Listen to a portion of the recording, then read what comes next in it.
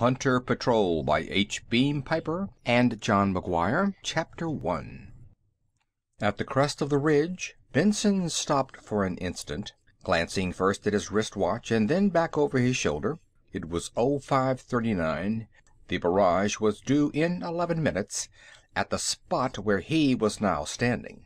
Behind, on the long northeast slope, he could see the columns of black oil smoke rising from what had been the Pan Soviet advance supply dump.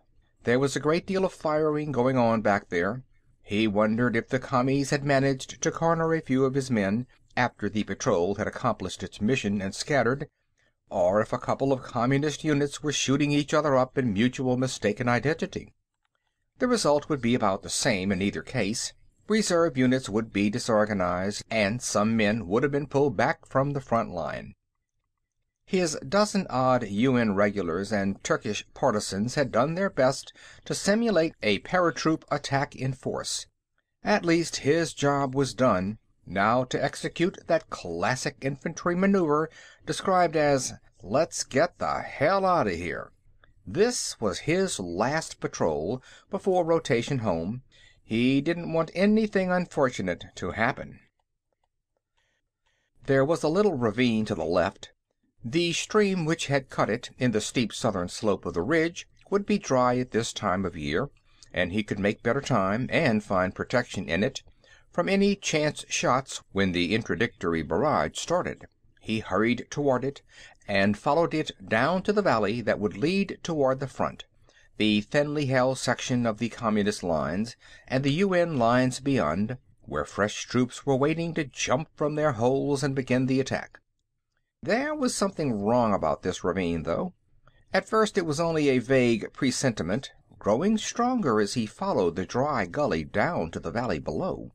Something he had smelled or heard or seen without conscious recognition. Then, in the dry sand where the ravine debouched into the valley, he saw faint tank tracks, only one pair. There was something wrong about the vines that mantled one side of the ravine, too. An instant later he was diving to the right, breaking his fall with the butt of his auto carbine, rolling rapidly toward the cover of a rock, and as he did so, the thinking part of his mind recognized what was wrong. The tank tracks had ended against the vine grown side of the ravine. What he had smelled had been lubricating oil and petrol, and the leaves on some of the vines hung upside down. Almost at once, from behind the vines, a tank's machine guns snarled at him, clipping the place where he had been standing, then shifting to rage against the sheltering rock. With a sudden motor roar the muzzle of a long tank gun pushed out through the vines, and then the low body of a tank with a red star on the turret came rumbling out of the camouflaged bay. The machine guns kept him pinned behind the rock. The tank swerved ever so slightly, so that its wide left tread was aimed directly at him, then picked up speed. Aren't even going to waste a shell on me, he thought. Futilely, he let go a clip from his carbine, trying to hit one of the vision slits, then rolled to one side, dropped out the clip, slapped in another. There was a shimmering blue mist around him. If he only hadn't used his last grenade back there at the supply dump. The strange blue mist became a flickering radiance that ran through all the colors of the spectrum and became an utter, impenetrable blackness. There were voices in the blackness, and a softness under him, but under his back, when he had been lying on his stomach, as though he were now on a comfortable bed. They got me alive, he thought. Now comes the brainwashing. He cracked one eye open imperceptibly. Lights, white and glaring, from a ceiling far above. Walls as white as the lights. Without moving his head, he opened both eyes and shifted them from right to left. Vaguely he could see people, and behind them, machines so simply designed that their functions were unguessable. He sat up and looked around groggily. The people, their costumes definitely not Pan Soviet uniforms, and the room and its machines told him nothing. The hardness under his right hip was a welcome surprise. They hadn't taken his pistol from him. Feigning even more puzzlement and weakness, he clutched his knees with his elbows and leaned his head forward on them, trying to collect his thoughts. "We shall have to give up, Gregory." A voice trembled with disappointment. "Why, Anthony?" The new voice was deeper, more aggressive. "Look, another typical reaction. Retreat to the fetus."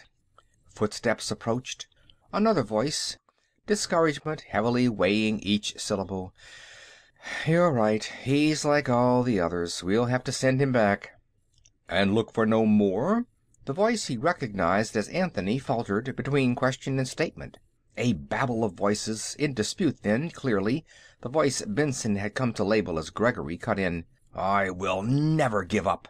He raised his head. There was something in the timbre of that voice reminding him of his own feelings in the dark days when the UN had everywhere been reeling back under the Pan Soviet hammer blows. "Anthony!" Gregory's voice again. Benson saw the speaker, short, stocky, gray-haired, stubborn lines about the mouth. The face of a man chasing an elusive but not uncapturable dream. "That means nothing." A tall man, too lean for the tunic-like garment he wore, was shaking his head. Deliberately trying to remember his college course in psychology, he forced himself to accept and to assess what he saw as reality. He was on a small table, like an operating table. The whole place looked like a medical lab or clinic. He was still in uniform. His boots had soiled the white sheets with the dust of Armenia. He had all his equipment, including his pistol and combat knife. His carbine was gone, however. He could feel the weight of his helmet on his head. The room still rocked and swayed a little, but the faces of the people were coming into focus. He counted them, saying each number to himself. One, two, three, four, five men, one woman. He swung his feet over the edge of the table, being careful that it would be between him and the others when he rose, and began inching his right hand toward his right hip, using his left hand on his brow to misdirect attention. I would classify his actions as arising from conscious effort at cortical thalamic integration, the woman said, like an archaeologist who has just found a K-ration tin at the bottom of a Neolithic kitchen midden. She had the peculiarly young old look of the spinster teachers with whom Benson had worked before going to the war. "I want to believe it, but I'm afraid to," another man for whom Benson had no name association said. He was portly, gray-haired, arrogant-faced. He wore a short black jacket with a jeweled zipper pull and striped trousers. Benson cleared his throat. "Just who are you people?" he inquired. "And just where am I?" Anthony grabbed Gregory's hand and pumped it frantically. "I've dreamed of the day when I could say this!" he cried. "Congratulations, Gregory!" That touched off another bedlam, of joy this time, instead of despair. Benson hid his amusement at the facility with which all of them were discovering in one another the courage, vision, and stamina of true patriots and pioneers. He let it go on for a few moments, hoping to glean some cue. Finally he interrupted. "I believe I asked a couple of questions," he said, using the voice he reserved for sergeants and second lieutenants. I hate to break up this mutual admiration session, but I would appreciate some answers. This isn't anything like the situation I last remember." "He remembers!" Gregory exclaimed. "That confirms your first derivation by symbolic logic, and it strengthens the validity of the second The school teacherish woman began jabbering excitedly. She ran through about a paragraph of what was pure gobbledygook to Benson before the man with the arrogant face and the jeweled zipper pull broke in on her. "Save that for later, Paula," he barked. "I'd be very much interested in your theories about why memories are unimpaired when you time jump forward and lost when you reverse the process. But let's stick to the business. We have what we wanted, now let's use what we have." "I never liked the way you make your money," a dark, cadaverous man said. But when you talk, it makes sense. Let's get on with it." Benson used the brief silence which followed to study the six. With the exception of the two who had just spoken, there was the indefinable mark of the fanatic upon all of them. People fanatical about different things, united for different reasons in a single purpose. It reminded him sharply of some teachers' committee about to beard a school board with an unpopular and expensive recommendation. Anthony, the oldest of the lot in a knee length tunic, turned to Gregory. "I believe you had better," he began. "As to who we are, we'll explain that, partially, later. As for your question, 'Where am I?' that will have to be rephrased.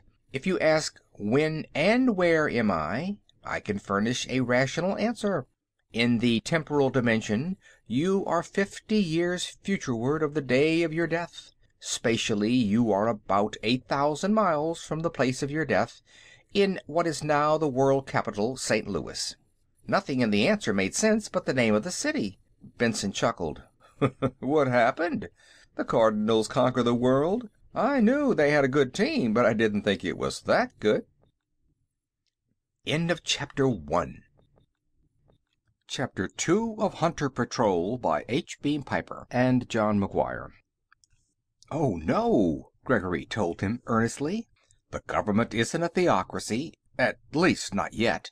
But if the Guide keeps on insisting that only beautiful things are good, and that he is uniquely qualified to define beauty, watch his rule change into just that. I've been detecting symptoms of religious paranoia, messianic delusions, about his public statements," the woman began. "Idolatry!" Another member of the group, who wore a black coat fastened to the neck, and white neckbands, rasped. "Idolatry indeed, as well as in spirit." The sense of unreality, partially dispelled, began to return. Benson dropped to the floor and stood beside the table, getting a cigarette out of his pocket and lighting it. "I made a joke," he said, putting his lighter away. The fact that none of you got it has done more to prove that I am fifty years in the future than anything any of you could say. He went on to explain who the St. Louis Cardinals were. "Yes, I remember. Baseball!" Anthony exclaimed. "There is no baseball now. The Guide will not allow competitive sports. He says that they foster the spirit of violence. The cadaverous man in the blue jacket turned to the man in the black garment of similar cut. "You probably know more history than any of us," he said, getting a cigar out of his pocket and lighting it. He lighted it by rubbing the end on the sole of his shoe. "Suppose you tell him what the score is." He turned to Benson. "You can rely on his dates and happenings. His interpretation's strictly capitalist, of course," he said. Black Jacket shook his head. "You first, Gregory," he said. "Tell him how he got here, and then I'll tell him why." "I believe," Gregory began, "that in your period fiction writers made some use of the subject of time travel. It was not, however, given serious consideration, largely because of certain alleged paradoxes involved and because of an elementalist and objectifying attitude toward the whole subject of time. I won't go into the mathematics and symbolic logic involved, but we have disposed of the objections. More, we have succeeded in constructing a time machine, if you want to call it that. We prefer to call it a temporal spatial displacement field generator. "It's really very simple," the woman called Paula interrupted. If the universe is expanding, time is a widening spiral; if contracting, a diminishing spiral; if static, a uniform spiral. The possibility of pulsation was our only worry." "That's no worry," Gregory reproved her. "I show you that the rate was too slow to have an effect on "Oh, nonsense! You can measure something which exists within a microsecond. But where is the instrument to measure a temporal pulsation that may require years? You haven't come to that yet." "Be quiet, both of you," the man with the black coat and the white bands commanded. "While you argue about vanities, thousands are being converted to the godlessness of the Guide, and other thousands of his dupes are dying, unprepared to face their Maker. "All right, you invented a time machine," Benson said. "In civvies I was only a high school chemistry teacher. I can tell a class of juniors the difference between H2O and H2SO4, but the theory of time travel is wasted on me. Suppose you just let me ask the questions. Then I'll be sure of finding out what I don't know. For instance, who won the war I was fighting in, before you grabbed me and brought me here? The Commies?" "No, the United Nations," Anthony told him. "At least, they were the least exhausted when both sides decided to quit." "Then what's this dictatorship, the Guide? Extreme rightist?" "Walter, you'd better tell him," Gregory said. "We damn near lost the war," the man in the black jacket and striped trousers said. "But for once we won the peace. The Soviet bloc was broken up. India, China, Indonesia, Mongolia, Russia, the Ukraine, all the satellite states. Most of them turned into little dictatorships, like the Latin American countries after the liberation from Spain. But they were personal, non ideological, generally benevolent dictatorships, the kind that can grow into democracies if they're given time. "Capitalist dictatorships, he means," the cadaverous man in the blue jacket explained. "Be quiet, Karl," Anthony told him. "Let's not confuse this with any class struggle stuff." "Actually, the United Nations rules the world," Walter continued. "What goes on in the Ukraine or Latvia or Manchuria is about analogous to what went on under the old United States government in, let's say, Tammany ruled New York. But here's the catch. The UN is ruled absolutely by one man." "How could that happen? In my time the UN had its functions so subdivided and compartmented that it couldn't even run a war properly.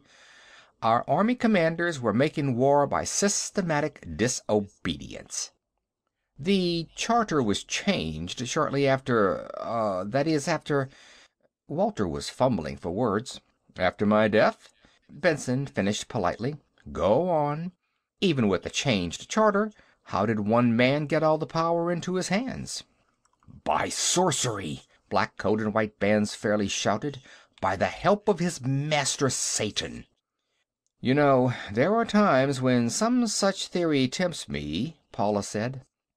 "He was a big moneybags," Carl said. "He bribed his way in. See? New York was bombed flat, where the old UN buildings were. It's still hot.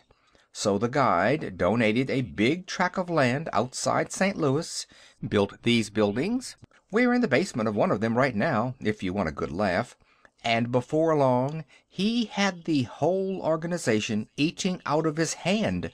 They just voted him into power, and the world into slavery."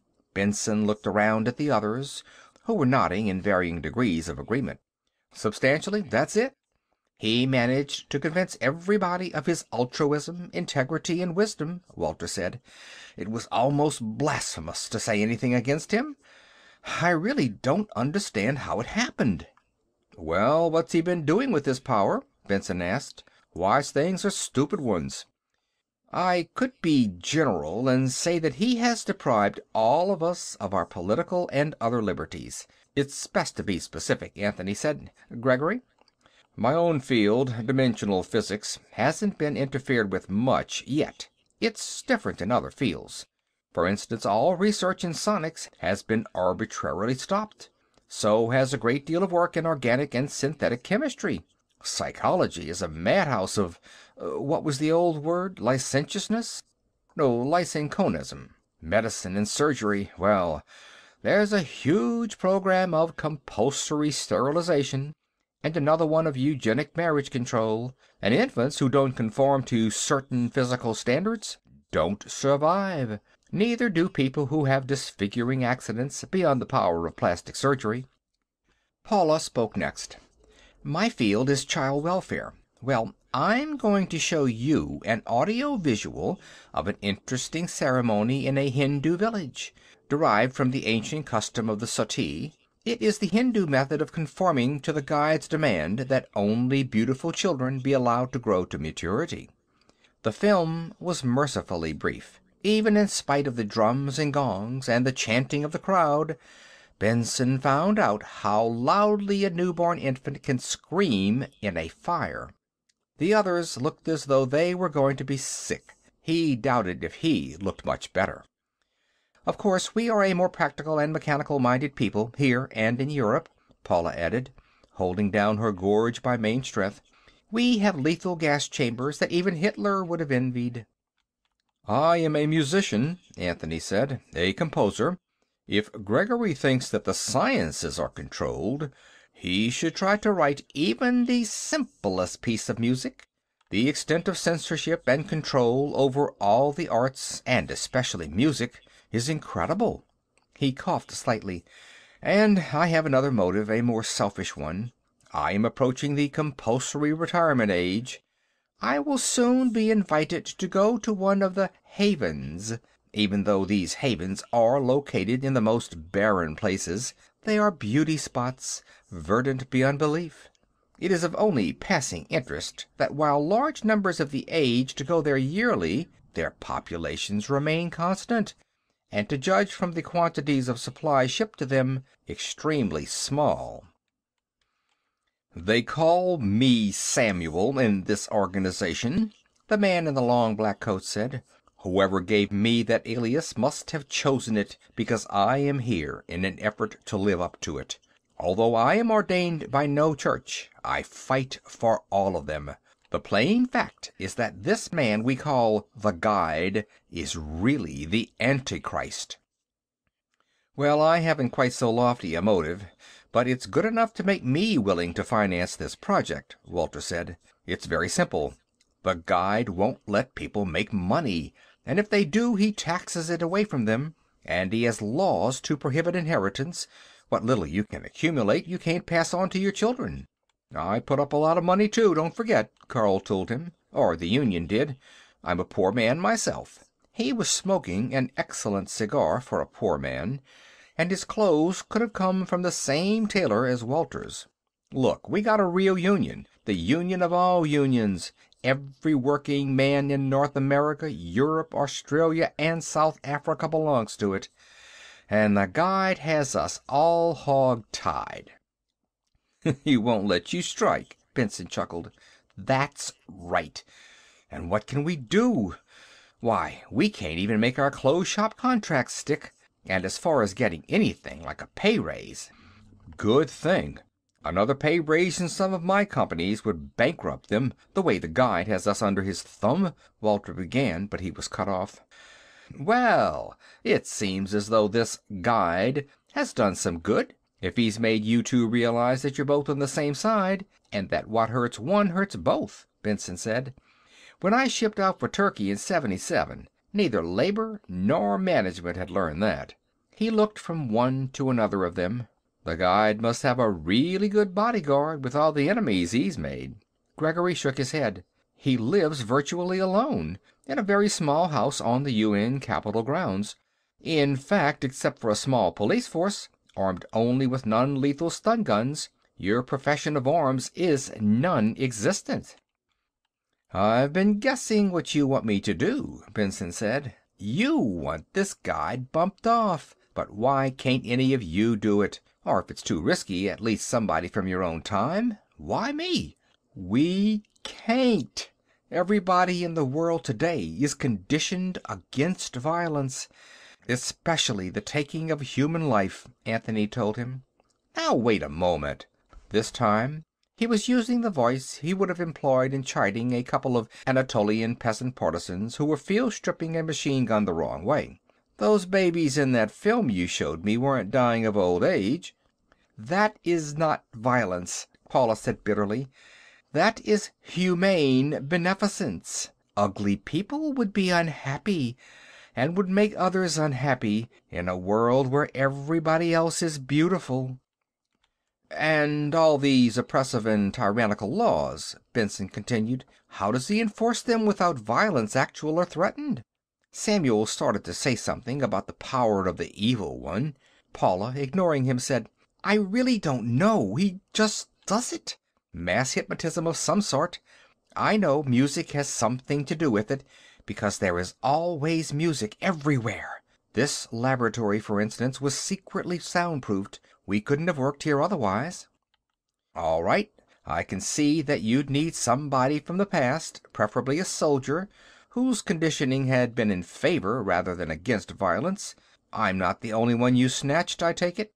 "No. We've been using that machine to pick up men from battlefields all over the world and all over history," Gregory said. "Until now, none of them could adjust. Ah!" He shuddered, looking even sicker than when the film was being shown. "He's thinking," Walter said, "about a French officer from Waterloo who blew out his brains with a pocket pistol on that table, and an English archer from Agincourt who ran amuck with a dagger in here, and a trooper of the Seventh Cavalry from the Custer massacre." Gregory managed to overcome his revulsion. "You see, we were forced to take on subjects largely at random, with regard to individual characteristics, mental attitudes, adaptability, etc. As long as he struck to high order abstractions, he could control himself. Aside from their professional lack of repugnance for violence, we took soldiers from battlefields because we could select men facing immediate death, whose removal from the past would not have any effect upon the causal chain of events affecting the present." A warning buzzer rasped in Benson's brain. He nodded, poker faced. "I can see that," he agreed. "You wouldn't dare do anything to change the past. That was always one of the favorite paradoxes in time travel fiction. Well, I think I have the general picture. You have a dictator who is tyrannizing you. You want to get rid of him. You can't kill him yourselves. I'm opposed to dictators myself. That, and the Selective Service law, of course was why I was a soldier. I have no moral or psychological taboos against killing dictators, or anybody else.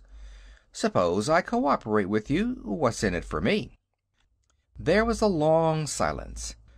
Walter and Carl looked at one another inquiringly. The others dithered helplessly. It was Carl who answered. "You return to your own time and place." "And if I don't cooperate with you?" "Guess when and where else we would send you," Walter said. Benson dropped his cigarette and tramped it. "Exactly the same time and place?" he asked. "Well, the structure of space time demands," Paula began. "The spatio-temporal displacement field is capable of identifying that spot."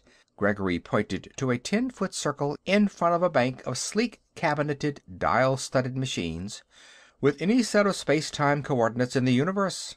However, to avoid disruption of the structure of space time, we must return you to approximately the same point in space time." Benson nodded again, this time at the confirmation of his earlier suspicion. Well, while he was alive, he still had a chance. "All right. Tell me exactly what you want me to do." End of Chapter 2 Chapter 3 of Hunter Patrol by H. Beam Piper and John McGuire A third outbreak of bedlam, this time of relief and frantic explanation. "Shut up, all of you!" For so thin a man, Carl had an astonishing voice. "I worked this out, so let me tell it." He turned to Benson. "Maybe I'm tougher than the rest of them, or maybe I'm not as deeply conditioned. For one thing, I'm tone deaf. Well, here's the way it is. Gregory can set the machine to function automatically. You stand where he shows you, press the button he shows you, and fifteen seconds later it'll take you forward in time five seconds and about a kilometer in space to the guide's office. He'll be at his desk now.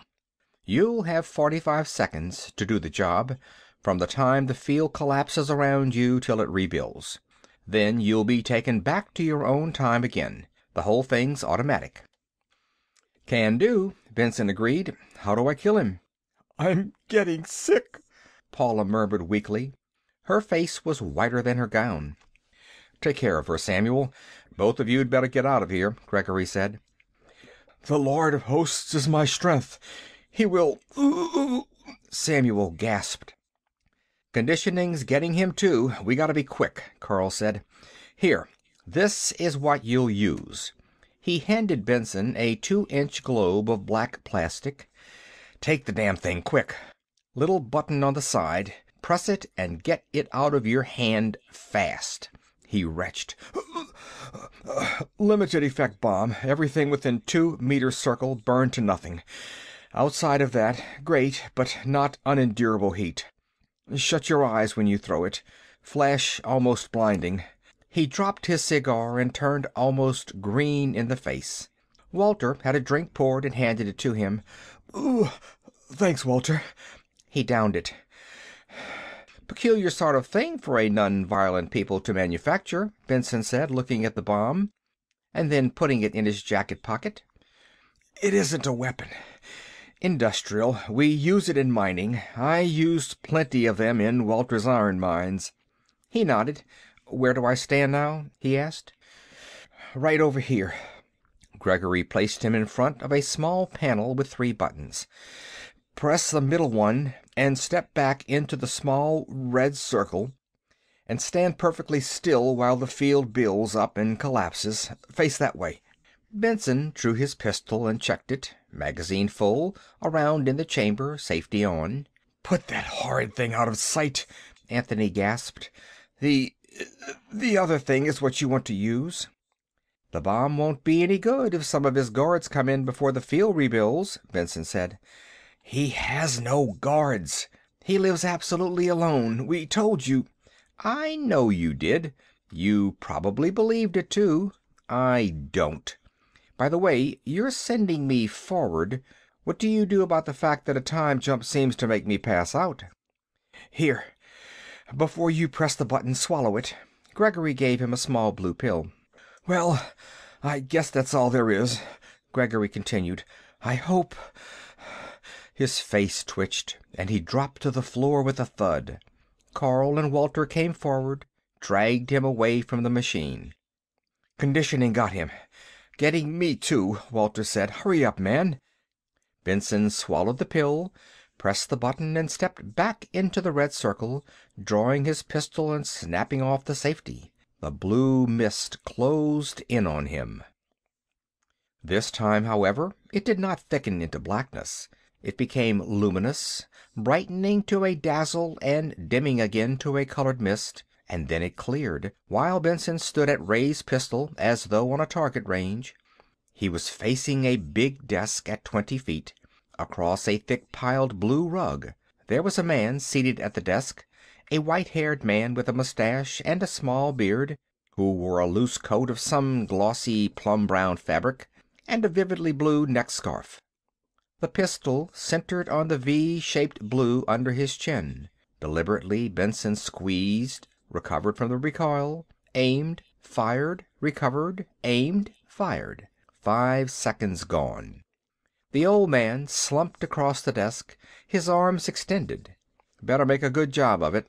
Six, seven, eight seconds. He stepped forward to the edge of the desk call that fifteen seconds and put the muzzle to the top of the man's head, firing again and snapping on the safety. There had been something familiar about the guide's face, but it was too late to check on that now. There wasn't any face left, not even much of a head. A box on the desk caught Benson's eye. A cardboard box with an envelope stamped Top Secret, for the guide only, taped to it. He holstered his pistol and caught that up, stuffing it into his pocket in obedience to an instinct to grab anything that looked like intelligence matter while in the enemy's country. Then he stepped back to the spot where the field had deposited him. He had ten seconds to spare. Somebody was banging on a door when the blue mist began to gather around him. He was crouching, the spherical plastic object in his right hand, his thumb over the button, when the field collapsed.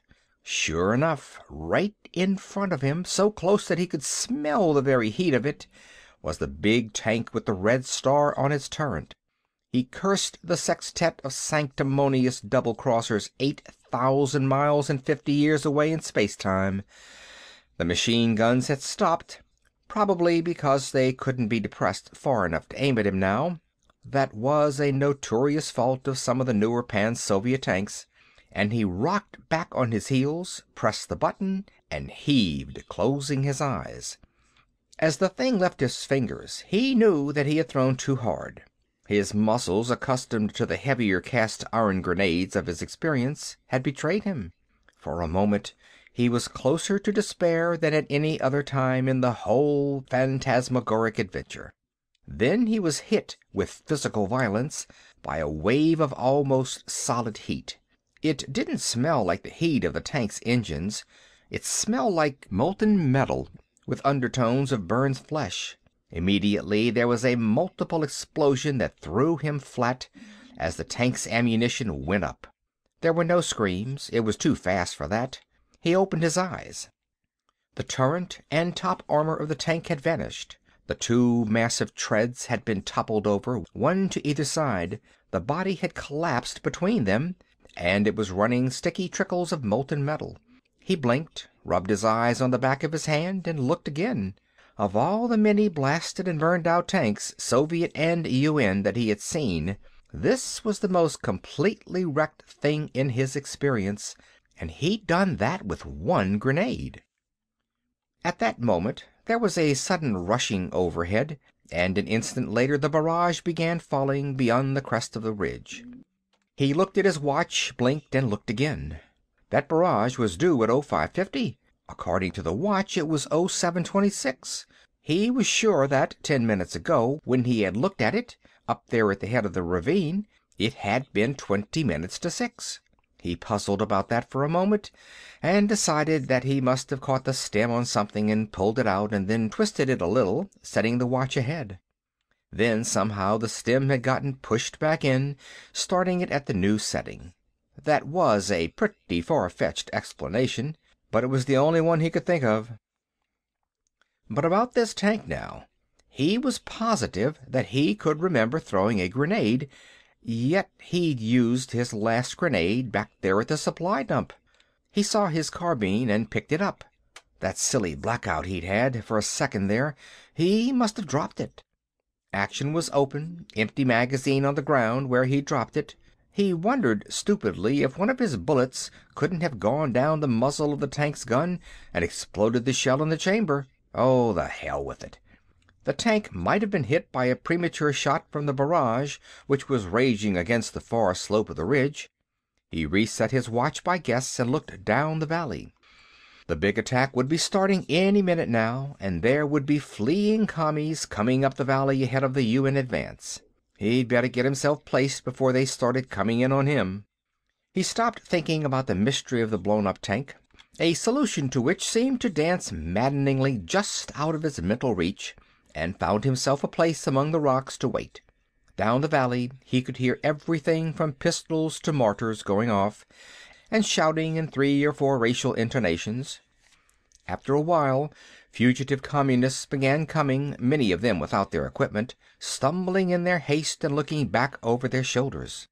Most of them avoided the mouth of the ravine and hurried by to the left or right, but one little clump, eight or ten, came up the dry stream bed and stopped a hundred and fifty yards from his hiding place to make a stand. They were Hindus, with outsize helmets over their turbans. Two of them came ahead, carrying the machine gun, followed by a third with the flame thrower. The others retreated more slowly, firing their rifles to delay pursuit. Cuddling the stock of his carbine to his cheek, he divided a ten-shot burst between the two machine gunners. Then, as a matter of principle, he shot the man with the flame thrower. He had a dislike for flame throwers. He killed every enemy he found with one. The others dropped their rifles and raised their hands, screaming, "Hey, Joe! Hey, Joe! You no shoot! Me no shoot!" A dozen men in UN battle dress came up and took them prisoner. Benson shouted to them and then rose and came down to join them. They were British, Argyll and Sutherland Highlanders, advertising the fact by inconspicuous bits of tartan on their uniforms. The subaltern in command looked at him and nodded. "Captain Benson, we were warned to be on watch for your patrol," he said. "Any of the rest of your lads get out?" Benson shrugged. "We split up after the attack. You may run into a couple of them. Some are locals and don't speak very good English. I've got to get back to Division myself. What's the best way?" "Down that way. You'll overtake a couple of our walking wounded. If you don't mind going slowly, they'll show you the way to advanced dressing station and you can hitch a ride on an ambulance from there." Benson nodded. Off to the left there was a flurry of small arms fire, ending in yells of "Hey, Joe! Hey, Joe!" the World War IV version of "Kamerad." His company was a non-T.O. outfit, He came directly under Division command and didn't have to bother reporting to any regimental or brigade commander. He walked for an hour with a half a dozen lightly wounded Scots, rode for another hour on a big cat truck loaded with casualties of six regiments and four races, and finally reached Division rear, where both the Division and Corps commanders took time to compliment him on the part his last Hunter patrol had played in the now complete breakthrough. His replacement, an equine faced Spaniard with an imposing display of fruit salad, was there too. He solemnly took off the bracelet a refugee Caucasian goldsmith had made for his predecessor's predecessor, and gave it to the new commander of what had formerly been Benson's Butchers. As he had expected, there was also another medal waiting for him. A medical check at Task Force Center got him a warning. His last patrol had brought him dangerously close to the edge of combat fatigue. Remembering the incidents of the tank and the unaccountably fast watch and the mysterious box and envelope which he had found in his coat pocket, he agreed, saying nothing about the questions that were puzzling him. The psychology department was never too busy to refuse another case. They hunted patients gleefully, each psych shark seeking in every one proof of his own particular theories. It was with relief that he watched them fill out the red tag which gave him a priority on jet transports for home. Ankara to Alexandria, Alexandria to Dakar, Dakar to Bremen, Bremen to the shattered skyline of New York, the hurry and wait procedures at Fort Carlisle, and after the usual separation promotion, Major Fred Benson, late of Benson's Butchers, was back at teaching high school juniors the difference between H2O and H2SO4. There were two high schools in the city, McKinley High on the east side and Dwight Eisenhower High on the west. A few blocks from McKinley was the Tulip Tavern, where the Eisenhower teachers came in the late afternoons. The McKinley faculty crossed town to do their after school drinking on the west side. When Benson entered the Tulip Tavern on a warm September afternoon, he found Bill Myers, the school psychologist, at one of the tables, smoking his pipe, checking over a stack of aptitude test forms, and drinking beer. He got a highball at the bar and carried it over to Bill's table. "Oh, hi, Fred." The psychologist separated the finished from the unfinished work with a sheet of yellow paper and crammed the whole business into his briefcase. I was hoping somebody'd show up." Benson lit a cigarette, sipped his highball. They talked at random, school talk, the progress of the war, now in its twelfth year, personal reminiscences of the Turkish theater where Benson had served, and the Madras beachhead where Myers had been. "Bring home any souvenirs?" Myers asked. "Not much. A couple of pistols, couple of knives, some pictures. I don't remember what all. Haven't gotten around to unpacking them yet. I have a sixth of rye and some beer at my rooms. Let's go round and see what I did bring home."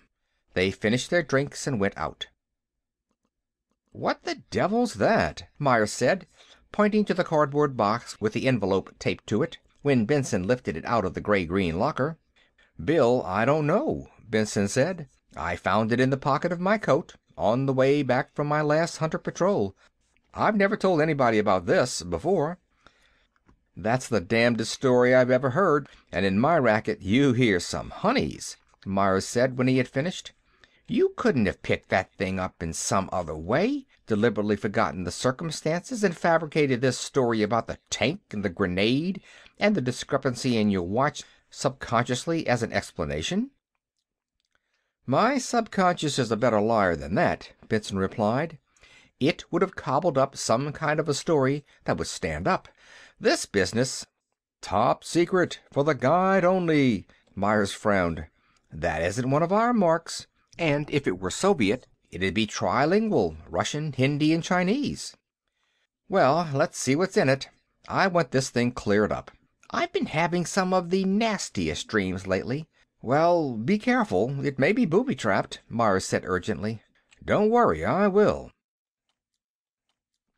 End of Chapter 3 Chapter 4 of Hunter Patrol by H. Beam Piper and John McGuire He used a knife to slice the envelope open without untaping it from the box, and exposed five sheets of typewritten onion skin paper. There was no letterhead, no salutation or address line, just a mass of chemical formulae and a concise report on tests. It seemed to be a report on an improved syrup for a carbonated soft drink. There were a few cryptic cautionary references to heightened psychophysiological effects. The box was opened with the same caution, but it proved as innocent of dangers as the envelope. It contained only a half liter bottle, wax sealed, containing a dark reddish brown syrup. "There's a lot of this stuff I don't dig," Benson said, tapping the sheets of onion skin. "I don't even scratch the surface of this rigmarole about the Guide.' I'm going to get to work on this sample in the lab at school, though. Maybe we have something here." At eight thirty the next evening, after four and a half hours' work, he stopped to check what he had found out.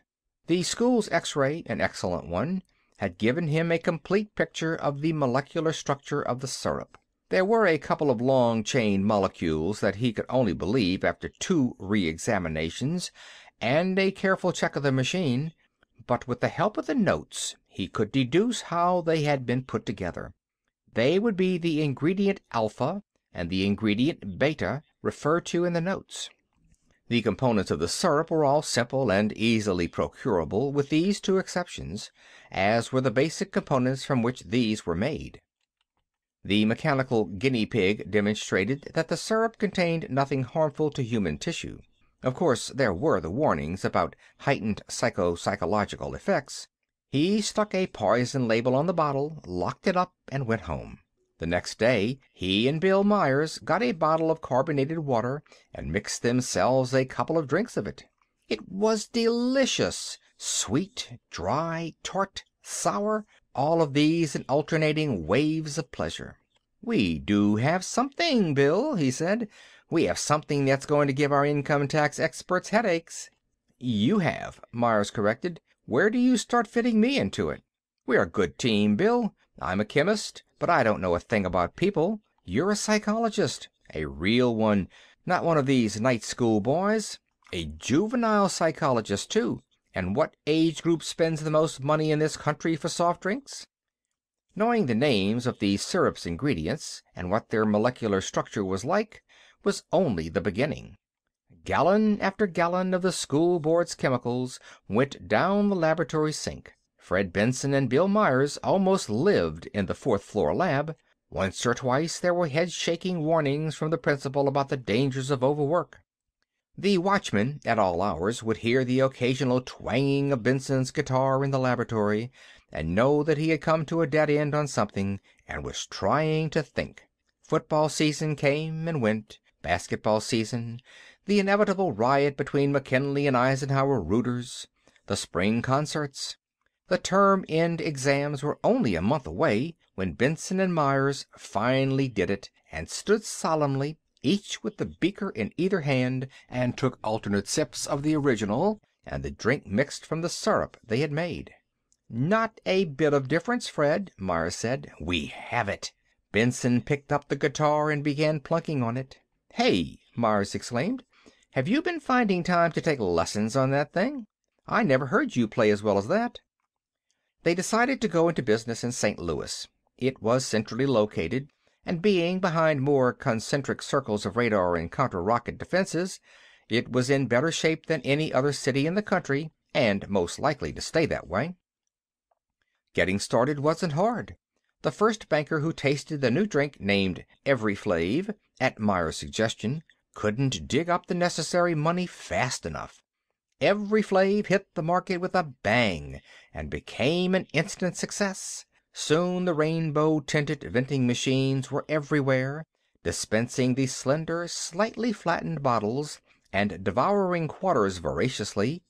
In spite of high taxes and the difficulties of doing business in a consumer's economy upon which a wartime economy had been superimposed, both Myers and Benson were rapidly becoming wealthy. The gregarious Myers installed himself in a luxurious apartment in the city. Benson bought a large tract of land down the river toward Carondelet and started building a home and landscaping the grounds. The dreams began bothering him again, now that the urgency of getting Evri Flave Incorporated started had eased. They were not dreams of the men he had killed in battle, or except for one about a huge hot smelling tank with a red star on the turret, about the war. Generally, they were about a strange, beautiful office room in which a young man in uniform killed an older man in a plum brown coat and a vivid blue neck scarf. Sometimes Benson identified himself with the killer, sometimes with the old man who was killed. He talked to Myers about these dreams, but beyond generalities about delayed effects of combat fatigue and vague advice to relax, the psychologist, now head of sales and promotion of Evri Flave, Incorporated, could give him no help. The war ended three years after the new company was launched. There was a momentary faltering of the economy, and then the work of reconstruction was crying hungrily for all the labor and capital that had been idled by the end of destruction, and more. There was a new flood tide of prosperity, and Evri Flave rode the crest. The estate at Carondelet was finished, a beautiful place, surrounded with gardens, fragrant with flowers, full of the songs of birds and soft music from concealed record players. It made him forget the ugliness of the war, and kept the dreams from returning so frequently. All the world ought to be like that, he thought. Beautiful and quiet and peaceful. People surrounded with such beauty couldn't think about war. All the world could be like that, if only The UN chose St. Louis for its new headquarters. Many of its offices had been moved there after the second and most destructive bombing of New York, and when the city by the Mississippi began growing into a real world capital, the flow of money into it almost squared overnight. Benson began to take an active part in politics in the new World Sovereignty Party. He did not, however, allow his political activities to distract him from the work of expanding the company to which he owed his wealth and position. There were always things to worry about. "I don't know," Myers said to him one evening, as they sat over a bottle of rye in the psychologist's apartment. "I could make almost as much money practicing as a psychiatrist these days. The whole world seems to be going pure, unadulterated nuts. That affair in Munich, for instance." Yes, Benson grimaced as he thought of the affair in Munich. A Wagnerian concert which had terminated in an insane orgy of mass suicide. Just a week after we started our free sample campaign in South Germany, too. He stopped short, downing his drink and coughing over it. "Bill, you remember those sheets of onion skin in that envelope? The foundation of our fortunes. I wonder where you really did get that." "Fred!" His eyes widened in horror. That caution about heightened psycho psychological effects that we were never able to understand? Benson nodded grimly. And think of all the crazy cases of mass hysteria. That baseball game riot in Baltimore. The time everybody started tearing off each other's clothes in Milwaukee. The sex orgy in New Orleans. And the sharp uptrend in individual psychoneurotic and psychotic behavior. All in connection with music, too. And all after Evri Flave got on the market. "We'll have to stop it. Pull Evri Flave off the market," Myers said. We can't be responsible for letting this go on. We can't stop, either. There's at least a two months' supply out in the hands of jobbers and distributors over whom we have no control. And we have all these contractual obligations to buy the entire output of the companies that make the syrup for us. If we stop buying, they can sell it in competition with us, as long as they don't infringe our trade name. And we can't prevent pirating.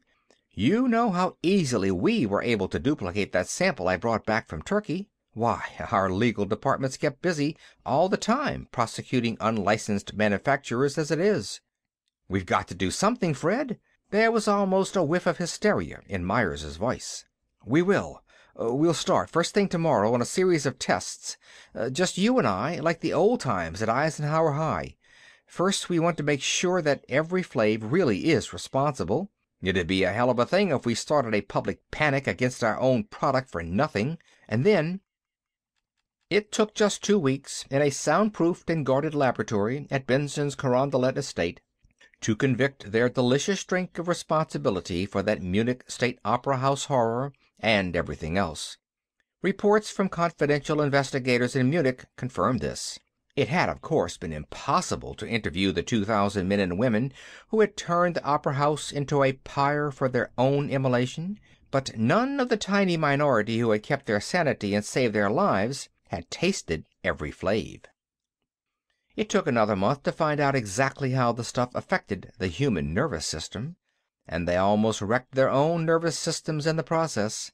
The real villain, they discovered, was the incredibly looking long chain compound alluded to in the original notes as ingredient beta. Its principal psychological effect was to greatly increase the sensitivity of the aural nerves. Not only was the hearing range widened, after consuming 30 cc of beta, they could hear the sound of an ultrasonic dog whistle quite plainly, but the very quality of all audible sounds was curiously enhanced and altered. Myers, the psychologist, who was also well grounded in neurology, explained how the chemical produced this effect. It meant about as much to Benson as some of his chemistry did to Bill Myers. There was also a secondary, purely psychological effect. Certain musical chords had definite effects on the emotions of the hearer, and the subject, besides being directly influenced by the music, was rendered extremely open to verbal suggestions, accompanied by a suitable musical background. Benson transferred the final results of this stage of the research to the black notebook and burned the scratch sheets. "That's how it happened, then," he said. "The Munich thing was the result of all that Götterdämmerung music.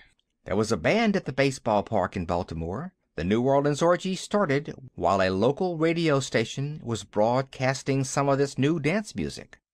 Look, these tone clusters here have a definite sex excitation effect. This series of six chords, which occur in some of the Wagnerian stuff, effect a combined feeling of godlike isolation and despair. And these consecutive fifths, a sense of danger, anger, combativeness you know, we could work out a whole range of emotional stimuli to fit the effects of Ingredient Beta." "We don't want to," Myers said. "We want to work out a substitute for Beta that will give the flavor of the drink without the psycho psychological effects." "Yes, sure. I have some of the boys at the plant working on that. Gave them a lot of syrup without Beta, and told them to work out cheap additives to restore the regular Evri Flave taste. Told them it wasn't an effort to find a cheap substitute for an expensive ingredient. But look, Bill, you and I both see, for instance, that a powerful, worldwide, supranational sovereignty is the only guarantee of world peace. If we could use something like this to help overcome antiquated verbal prejudices and nationalistic emotional attachments "No," Myers said. "I won't ever consent to anything like that, Fred. Not even in a cause like world peace. Use a thing like this for good, almost holy cause now, and tomorrow we, or those who would come after us, would be using it to create a tyranny. You know what year this is, Bill?" "Why, 1984," Benson said. "Yes. You remember that old political novel of Orwell's, written about forty years ago? Well, that's a picture of the kind of world you'd have, eventually, no matter what kind of world you started out to make. Fred, don't ever think of using this stuff for a purpose like that. If you try it, I'll fight you with every resource I have." There was a fanatical, almost murderous look in Bill Myers' eyes. Benson put the notebook in his pocket, then laughed and threw up his hands. "Hey, Joe! Hey, Joe!" he cried. "You're right, of course, Bill. We can't even trust the UN with a thing like this. It makes the H bomb look like a stone hatchet. Well, I'll call Grant at the plant lab and see how his boys are coming along with the substitute. As soon as we get it, we can put out a confidential letter to all our distributors and syrup manufacturers." He walked alone in the garden at Carondelet, watching the color fade out of the sky and the twilight seep in among the clipped yews. All the world could be like this garden, a place of peace and beauty and quiet, if only All the world would be a beautiful and peaceful garden, in his own lifetime. He had the means of making it so. End of chapter 4 Chapter 5 of Hunter Patrol by H. Beam Piper and John McGuire Three weeks later he murdered his friend and partner, Bill Myers. It was suicide. Nobody but Fred Benson knew that he had taken fifty cc of pure ingredient Beta in a couple of cocktails while listening to the queer phonograph record that he had played half an hour before blowing his brains out. The decision had cost Benson a battle with his conscience from which he had emerged the sole survivor. The conscience was buried along with Bill Myers, and all that remained was a purpose. Evri Flave stayed on the market unaltered. The night before the national election, the World Sovereignty Party distributed thousands of gallons of Evri Flave; their speakers, on every radio and television network, were backgrounded by soft music. The next day, when the vote was counted, it was found that the American Nationalists had carried a few backwoods precincts in the Rockies and the southern Appalachians and one county in Alaska, where there had been no distribution of Evri Flave. The dreams came back more often, now that Bill Myers was gone. Benson was only beginning to realize what a large fact in his life the companionship of the young psychologist had been. Well, a world of peace and beauty was an omelet worth the breaking of many eggs. He purchased another great tract of land near the city and donated it to the UN for their new headquarters buildings. The same architects and landscapes who had created the estate at Carondelet were put to work on it. In the middle of what was to become World City, they erected a small home for Fred Benson. Benson was often invited to address the delegates to the UN. Always there was soft piped in music behind his words. He saw to it that Evri Flave was available free to all UN personnel. The Senate of the United States elected him as perpetual U.S. delegate in chief to the UN; not long after, the Security Council elected him their perpetual chairman. In keeping with his new dignities, and to ameliorate his youthful appearance, he grew a mustache and eventually a small beard. The black notebook in which he kept the records of his experiments was always with him; page after page was filled with notes. Experiments in sonics, like the one which had produced the ultrasonic stun gun which rendered lethal weapons unnecessary for police and defense purposes or the new musical combinations with which he was able to play upon every emotion and instinct. But he still dreamed, the same recurring dream of the young soldier and the old man in the office. By now he was consistently identifying himself with the latter. He took to carrying one of the thick barrel stun pistols always now. Alone, he practiced constantly with it, drawing and breaking soap bubbles with the concentrated sound waves it projected. It was silly, perhaps, but it helped him in his dreams. Now the old man with whom he identified himself would draw a stun pistol occasionally to defend himself. The years drained one by one through the hourglass of time. Year after year the world grew more peaceful, more beautiful. There were no more incidents like the mass suicide of Munich, or the mass perversions of New Orleans. The playing and even the composing of music was strictly controlled. No dangerous notes or chords could be played in a world drenched with ingredient Beta. Steadily the idea grew that peace and beauty were supremely good, that violence and ugliness were supremely evil. Even competitive sports which stimulated violence even children born ugly and misshapen. He finished the breakfast which he had prepared for himself he trusted no food that another had touched and knotted the vivid blue scarf about his neck before slipping into the loose coat of glossy plum brown, then checked the stun pistol and pocketed the black notebook, its plastileather cover glossy from long use. He stood in front of the mirror, brushing his beard, now snow white. Two years now, and he would be eighty. Had he been anyone but the Guide, he would have long ago retired to the absolute peace and repose of one of the Elders' Havens. Peace and repose, however, were not for the Guide. It would take another twenty years to finish his task of remaking the world, and he would need every day of it that his medical staff could borrow or steal for him. He made an eye baffling practice draw with a stun gun, then holstered it and started down the spiral stairway to the office below. There was the usual mass of papers on his desk.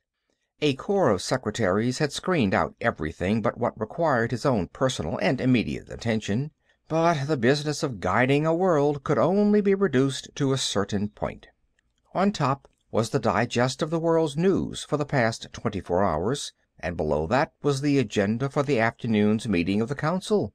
He laid both in front of him, reading over the former and occasionally making a note on the latter. Once his glance strayed to the cardboard box in front of him, with the envelope taped to it, the latest improvement on the Evri Flave syrup, with the report from his own chemists, all conditioned to obedience, loyalty and secrecy. If they thought he was going to try that damn stuff on himself There was a sudden gleam of light in the middle of the room, in front of his desk. No, a mist, through which a blue light seemed to shine. The stun pistol was in his hand, his instinctive reaction to anything unusual, and pointed into the shining mist when it vanished, and a man appeared in front of him, a man in the baggy green combat uniform that he himself had worn fifty years before, a man with a heavy automatic pistol in his hand. The gun was pointed directly at him. The guide aimed quickly and pressed the trigger of the ultrasonic stunner. The pistol dropped soundlessly on the thick piled rug. The man in uniform slumped in an inert heap. The guide sprang to his feet and rounded the desk crossing to and bending over the intruder. Why, this was the dream that had plagued him through the years. But it was ending differently. The young man his face was startlingly familiar, somehow was not killing the old man. Those years of practice with the stun pistol He stooped and picked the automatic up. The young man was unconscious, and the guide had his pistol now.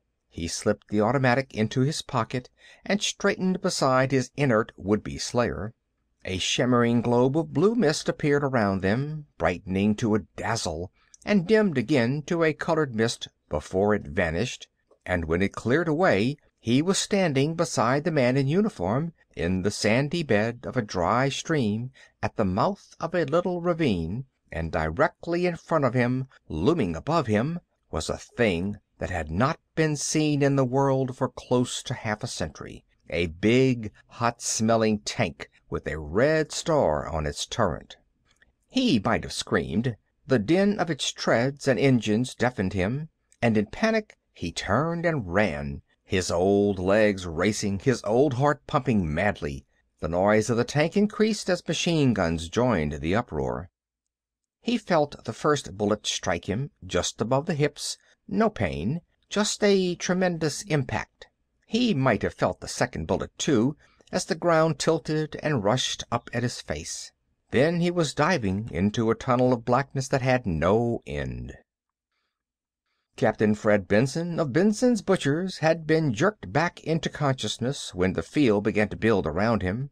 He was struggling to rise, fumbling the grenade out of his pocket, when it collapsed. Sure enough, Right in front of him, so close that he could smell the very heat of it, was the big tank with the red star on its turret.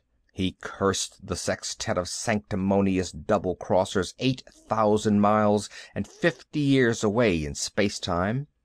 The machine guns had stopped, probably because they couldn't be depressed far enough to aim at him now. That was a notorious fault of some of the newer Pan Soviet tanks. He had the bomb out of his pocket when the machine guns began to fire again, this time at something on his left. Wondering what had created the diversion, he rocked back on his heels, pressed the button and heaved, closing his eyes. As the thing left his fingers, he knew that he had thrown too hard. His muscles, accustomed to the heavier cast iron grenades, had betrayed him. For a moment he was closer to despair than at any other time in the whole phantasmagoric adventure. Then he was hit, with physical force, by a wave of almost solid heat. It didn't smell like the heat of the tank's engines. It smelled like molten metal, with undertones of burned flesh. Immediately there was a multiple explosion that threw him flat, as the tank's ammunition went up. There were no screams. It was too fast for that. He opened his eyes. The turret and top armor of the tank had vanished. The two massive treads had been toppled over, one to either side. The body had collapsed between them, and it was running sticky trickles of molten metal. He blinked, rubbed his eyes on the back of his hand, and looked again. Of all the many blasted and burnt out tanks, Soviet and UN, that he had seen, this was the most completely wrecked thing in his experience. And he had done that with one grenade!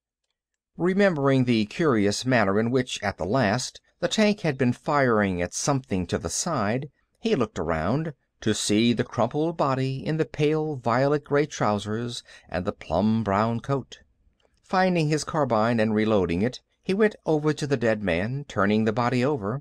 He was an old man with a white mustache and a small white beard. Why, if the mustache were smaller and there were no beard, he would pass for Benson's own father, who had died in 1962. The clothes weren't Turkish or Armenian or Persian or anything one could expect in this country. The old man had a pistol in his coat pocket, and Benson pulled it out and looked at it, then did a double take and grabbed for his own holster, to find it empty. The pistol was his own 9.5 Colt automatic. He looked at the dead man with the white beard and the vivid blue neck scarf, and he was sure that he had never seen him before. He'd had that pistol when he'd come down the ravine. There was another pistol under the dead man's coat, in a shoulder holster, a queer thing with a thick, round barrel, like an old percussion pepper box, and a diaphragm instead of a muzzle. Probably projected ultrasonic waves. He holstered his own Colt and pocketed the unknown weapon. There was a black plastileather bound notebook. It was full of notes. Chemical formula, yes, and some stuff on sonics. That tied in with the queer pistol. He pocketed that. He'd look both over when he had time and privacy, two scarce commodities in the army.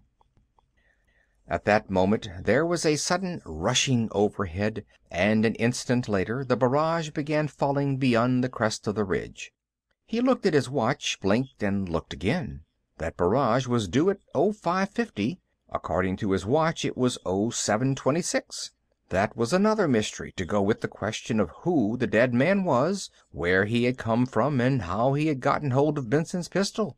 Yes, and how that tank had gotten blown up. Benson was sure he had used his last grenade back at the supply dump. To hell with it, he'd worry about all that later.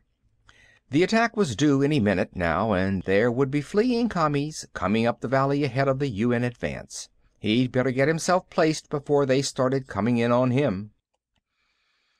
He stopped thinking about the multiple mystery, a solution to which seemed to dance maddeningly just out of his mental reach, and found himself a place among the rocks to wait. And while he waited, he looked over the plastileather bound notebook. In civil life he had been a high school chemistry teacher, but the stuff in this book was entirely new to him. Some of it he could understand readily enough; the rest of it he could dig out for himself. Stuff about some kind of a carbonated soft drink, and about a couple of unbelievable looking long chain molecules. After a while, fugitive Communists began coming up the valley to make their stand. Benson put away the notebook picked up his carbine and cuddled the stock to his cheek. End of Chapter 5 End of Hunter Patrol by H. Beam Piper and John McGuire This story read by Phil Chenevert in Baton Rouge, Louisiana, July 2012